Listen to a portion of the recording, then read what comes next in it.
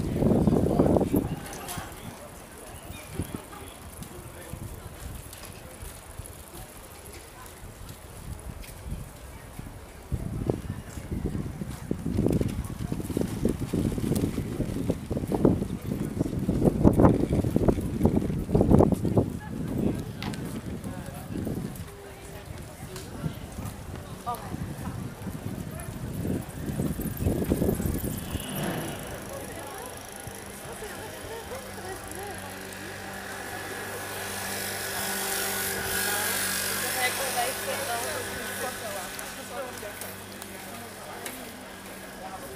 me see what's coming out.